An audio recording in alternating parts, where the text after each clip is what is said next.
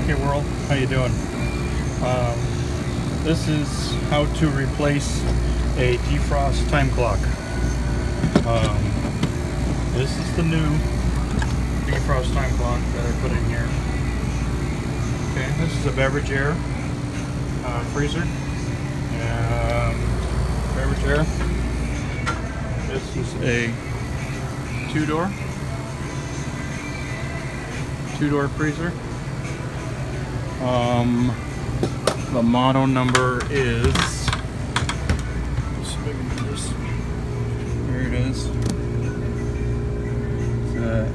EF 48-1 Apple Sam. That's Edward Frank 48-1 Apple Sam. Uh, R404, 23 ounces, 14 and a half amps. Uh, load on the is a max draw for the box on for everything. Uh, 115 volt. There you go.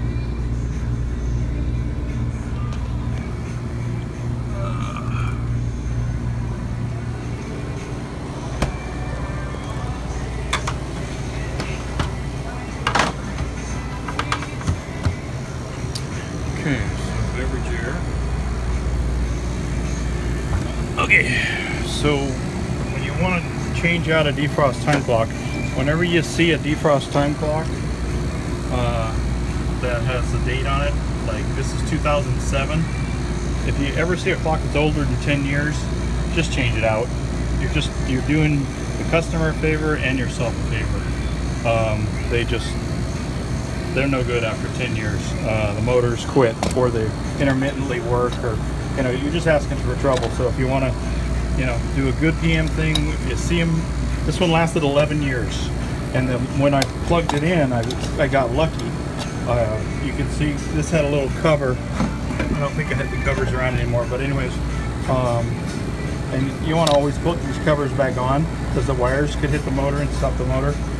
So, but anyways, um, this this when it started out, the thing the, the thing started barely moving, and these things normally move really fast. So if you see yours just barely moving, it's junk. That's not going to keep correct time.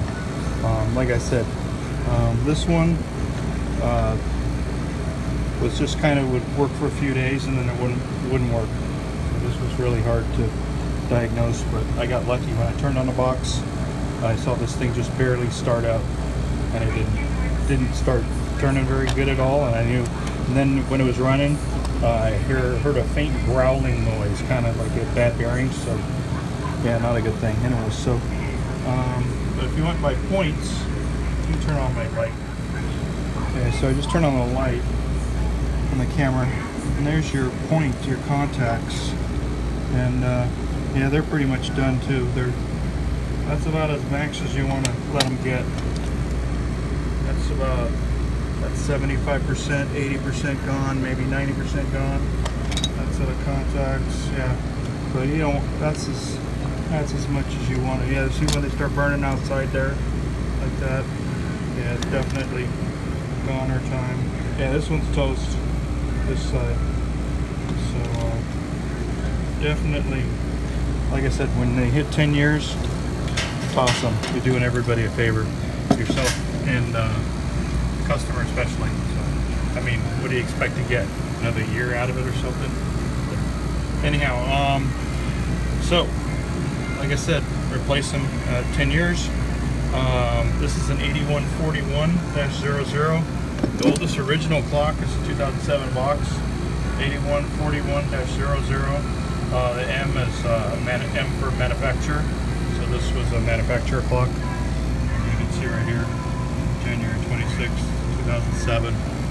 So, um, you can see how the manufacturer put on this stuff. Pretty cool with the, to match the color code of the wires. Matches exact. You can see all the wires are the exact same colors. Kind of cool. Uh, beverage air is pretty cool like that. Um, I um, okay. So you want to change out, if you want to change out one of these clocks, a real nice thing is to get one of these number kits. I use these uh, right here. You can get them at any electrical supply house, like uh, Walters out here, and uh, I think they also sell them at Home, Home Depot. But ideal, the wire marker marker book. Um, it has all these little numbers in it. I'll open it up for those of you that haven't seen one of these books before. They're very cool. Uh, they got all these numbers in them, and you can just pages and numbers. I think they even sell ones that have like letters too. Um, but anyway, so make your job a whole lot easier. Of course, these days with the phones, we can just take a picture, you know, and that helps a lot. So always take a picture of everything, but I always use a wire number. Just takes a few minutes. And like this is wire connection number one. I uh, so put a one on the on the wire, and a four. You can see on there and then you just double check and then you're then you're set to go makes your life easiest um, so uh, then you just take it away take out this screw right here and this screw right here that rusty one and this one down here. Okay? So one two three screws and the thing just comes out. Uh, you put it aside. Of course you unplug the unit before you do any of this. So uh, make sure you unplug it. Um, so take the clock away like this, put the new one, put the new one in place. And then you always start, when you're putting your wires back on, always do them from the bottom up. So that way you're not like working down into wires, kind of like you work out into a clearer area. So that's just something that kind of helps whenever you're doing something.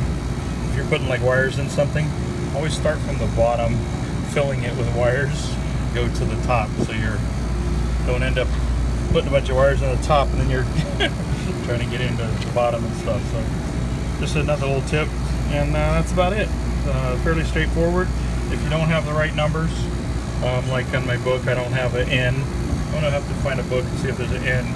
I just use another number and I make a note of it or take a picture you know? But um, so but try to use the corresponding numbers. There's a two on this one, as you can see, for number two. You know, just helps if a wire falls off or something and makes your life a lot easier. Okay, that's pretty much it. And then always check all your uh, bus connections.